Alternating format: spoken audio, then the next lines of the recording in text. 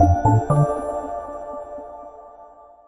Hello everyone, welcome to another episode on AppSec School. My name is Louis and I work at Pentester Lab. Today we are going to cover a topic that is a fantastic starting point for those interested in code review, extracting a patch from an advisory to understand the issue better. This is not only a great learning experience, but also a useful skill if you are looking to create content or preparing to apply for a job in application security. Let's get started. We are focusing on CVE 2023 41080 today, an open redirect in Apache Tomcat, involving something known as form authentication. It is essential to meticulously read every detail in the advisory because this will guide us on what to look for. Here we have the vulnerable version 11.0.0-M10 and the patch version 11.0.0-M11. Our next step is to get the source code. A simple search like Apache Tomcat GitHub will bring you to the repository where you can find the source code. Though we can walk through the GitHub UI, I prefer walking locally in a shell. We clone the project using git clone. Since it's a big project, it will take a while. Now, after cloning, we go into the directory and run git tag to list all the tags. With a flood of results, we will use grep to filter out required tags by grepping for 11.0.0, which promptly displays our two tags, 11.0.0-M10 and 11.0.0-M11, matching perfectly with our Tomcat versions, which may not always be the case case.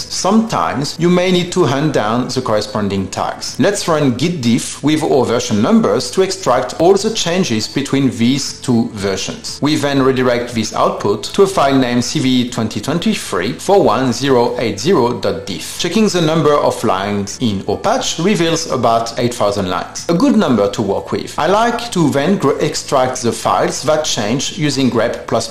As we scroll, we notice a file named form authenticator authenticator.java, very much aligning with the form authentication we are investigating. Opening the diff file and searching for this specific Java file reveals the change made to tackle the issue, where they removed slash slash at the start of the string to avoid relative redirects. So here we have it, a straightforward way to extract a patch and get a clear insight into the solutions implemented to fix a security issue. Now it's your turn to test this snippet for any bypass possibilities. I hope you find this tutorial helpful. It's a simple yet effective way to start with code review and application security. Remember to subscribe for more insightful sessions. Until next time, stay curious and keep learning.